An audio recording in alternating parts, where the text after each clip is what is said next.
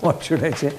I should be the Binny that he imagined. That, that I think the intention was more that. It's you see, it's very difficult to choose between children. If somebody says which is your favorite, I cannot go from door to door selling my script. I shot a full film with him. I'm very chill with him now. I think his advice was just be on, honest and be confident. I am a hungry, hungry actor.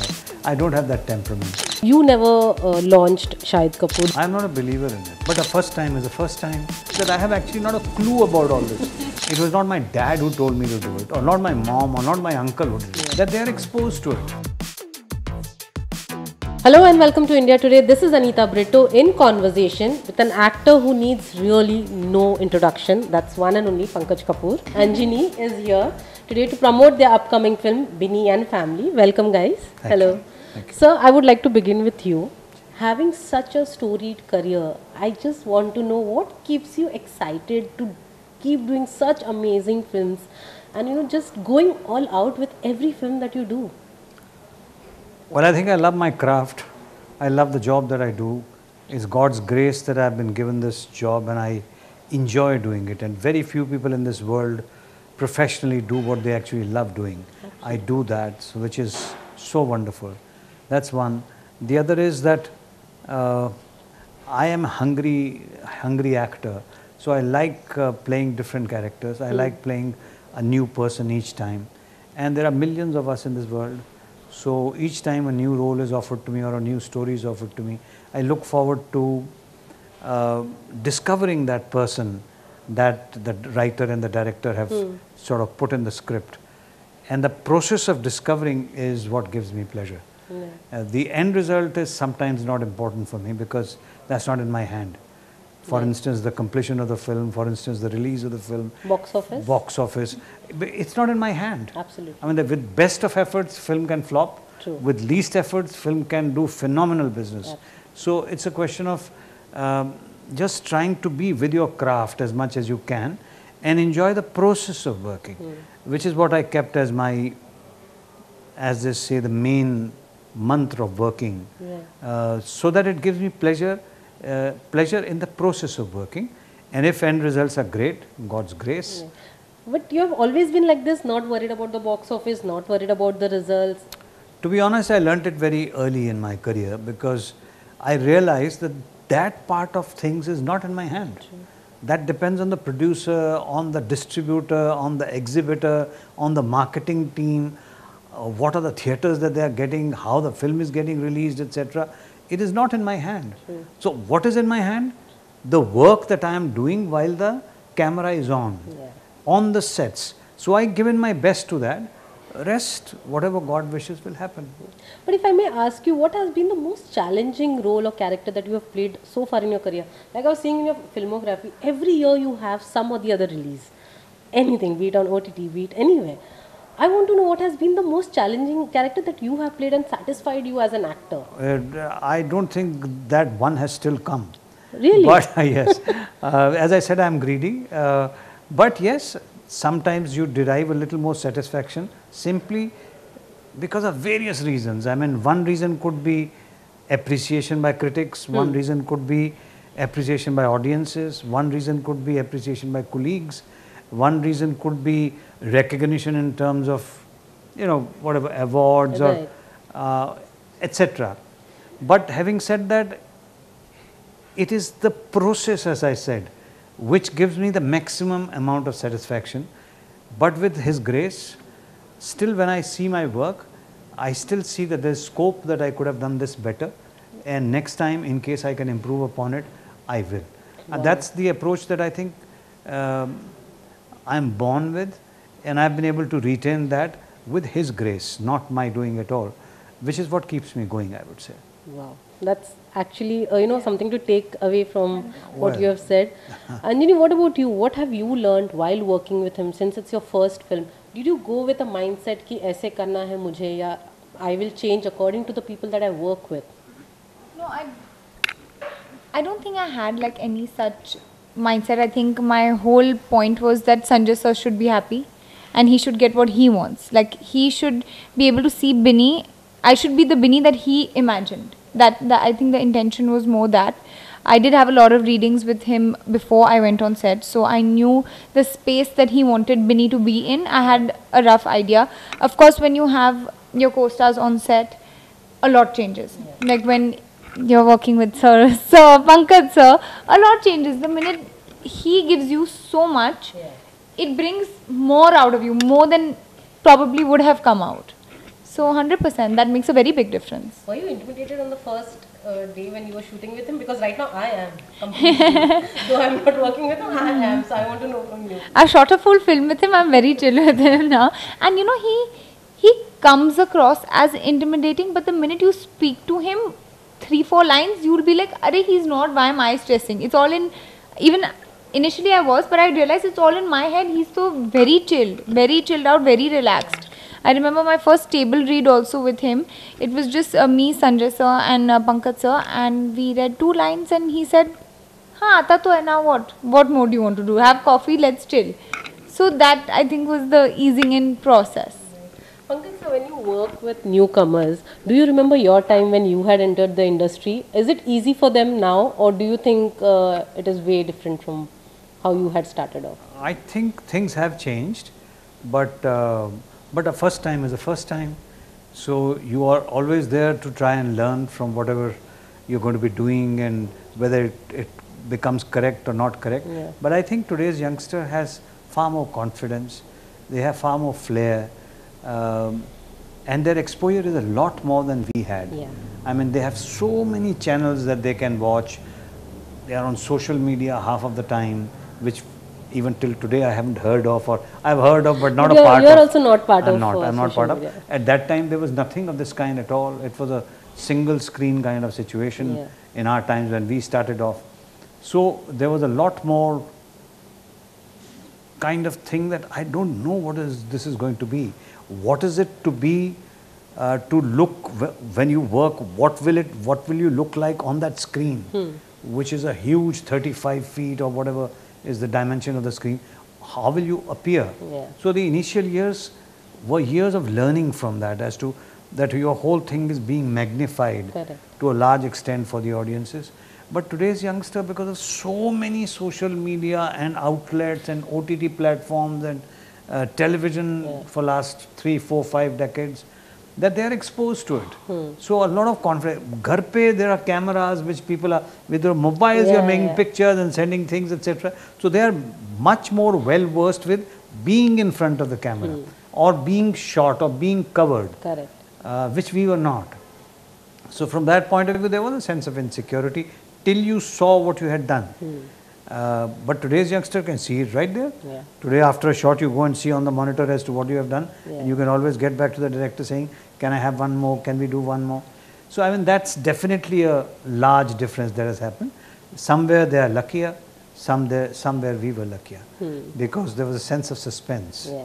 There was a sense of did I do it right? You were depending completely on the director and the cameraman. And once you see what have you done, well, you can crib about it, but you can only make changes the next time. True. So I think that also had its own charm. This also has its Has own, its own charm. charm. But you, uh, coming from a family, you know, of actors and directors, so I'm sure you were prepared from the beginning. How was your first moment like when you had to talk to your family and say, "Ki boss, mujhe to karna hi hai. I am going to get into acting, nothing more." Who was the guiding force behind uh, you being an actor today? I don't think there was a single day that I sat them down and said, you know, this is what I want to do. It was understood. Like it was very understood because I was always very I, I enjoyed. I enjoyed a lot. Right since I was eight years old, when my dadi used to take her acting classes at home, I was the first one standing there saying, "You make me anything, but I'm a part of this scene." So I think they always knew. I think my parents always knew. Your parents know first anything about a child, whether you say it or not, your parents know first. So I don't think it was ever that sit down conversation never happened. Right. And also, you are uh, Pankaj, sir- sorry, thank you. Uh, you never uh, launched Shahid Kapoor. He came on his own. Here, she's also, uh, you know, Varun did mention that no one launched him. But today's day, every actor has been launched by someone or the other. What was the reason behind you not launching uh, Shahid then? I'm not a believer in it. Okay. Like I believe that uh, each individual should be able to run their own journey, should be able to make their own beginning. Reason. Hmm. Reason something that my father gave me. Okay. He said, why I, you can have discussions, you can take suggestions. Uh, we can reach a point of your understanding how you go about it. But decision has to be yours. You have to take that first step because journey is yours. It's not my journey. Yeah. So that once you take that step, even if you fumble, you will learn how to get up and walk again. If you able to walk and run, you will be able to say, I did it. It was not my dad who told me to do it, or not my mom, or not my uncle who did it, Yeah. or not somebody else responsible for my success. You should be responsible for your own success so that you gain that confidence. That confidence will take you through life. Otherwise, you will always, all life, be looking at somebody to help you out. Once it was your father, then it could be another producer, it could be another production house, it could be another whatever these uh, corporate houses. No, you got to have confidence in yourself that I should do it the way I think I can do it. And if you do that, then I think you stand on your own feet and you're able to take, um take further strides with confidence. Well said. But also, this this Binny and family talks about the generation gap that we face. Now, I think that is still better. I think 10 years or 15 years down the line, things were different. We, the way we uh, behaved with our family, the way we behaved with our parents or grandparents, anyone. How have you coped up, sir? Because you also have kids who are from different generations, and now you are grandfather. How have you coped up with that, and how have you been with your grandparents first? See, I think I would say I was extremely lucky to have the kind of parents I had. I mean, my father was a hugely emancipated man. He was a principal of a college, a professor in English, etc. Uh, he had vast reading of English literature. I mean, I as a kid was hearing Sherlock Holmes and hearing Shakespeare when I was six, seven years of age as stories being told to me. So I, he, had, he was very open to everything and um frankly, he was my best friend. So he created that relationship with me and I could tell him anything that I wanted to. Uh, my mother was my first teacher as an actor. She was the one who sort of put me on to it Wow. as to, you know, she would gather people from neighborhood and make us do small little skits or something at home. Wow. So these two were the most prominent influences in my life. And they always let me do what I wanted to do. So I think I just got it from them and I just extended it to my children. I said, you do what you want to do. I am there to back up. As and when you need me, you turn, you will see me standing there. But I will not be holding your hand and taking you forward. No. That you will do yourself. Now, today, if any one of them has become successful, it's because of their doing. It's because of their personality. It is because of their honesty, their hard work, their talent. So they don't have to look back and say, oh, dad did, did, did this for me. Well, they did get the exposure of being in an atmosphere like this. They could see their father being an actor, going on sets, etc. But that's about it. I mean, that in any in any family we see that there are people who try and send you to good schools, to educate, to if you want to study further, help you out in that. But they don't go and study with you. Similarly, as an actor, you should be able to do it on your own, or in this, or in any field for that matter. You should be able to do it on your own. And I think the generation, this generation, has the ability to do so. Or every generation, when they are young, they have the ability to do so. The confidence has to be given, and there has to be somebody to say, "I am right there. Just go ahead. Yeah. If required, I'll reach wherever you need me." And as a grandfather, how, uh, how both the grandkids, how, what are they teaching you now? But they're teaching me all the new from Pokemons to all the the greatest singers in the world, Taylor Swift and things like that.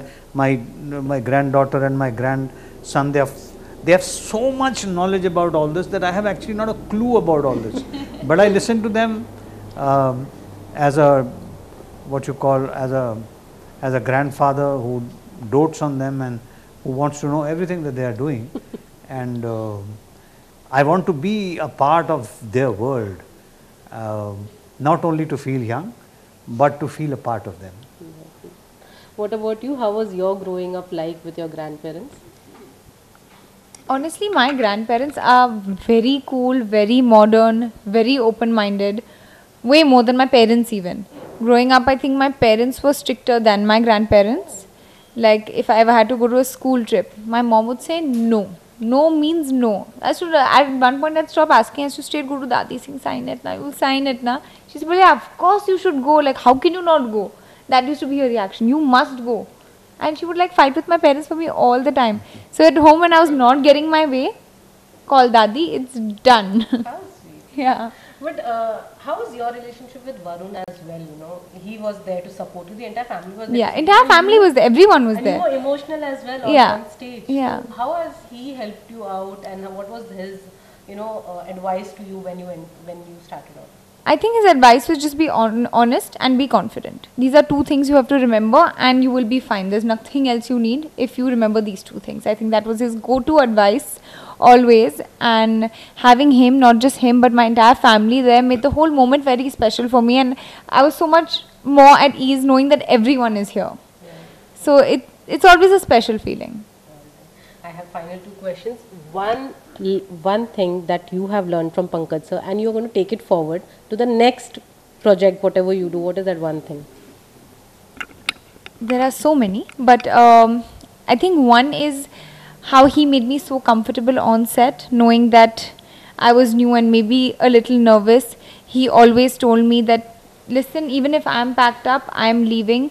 It is my job to give you cues, and I'll always be there to do that. And he went, he literally sat me down to tell me this and said, whenever you need it, you have to ask me, and I will be here. So I think that was very nice, and he was always there for that. He didn't have to do it, but he was always there and to always uplift the scene not your it's not about you and your performance it's about the scene i think these are a couple of things that are going to be with me for the rest of my career 100% One film of his that you love a lot.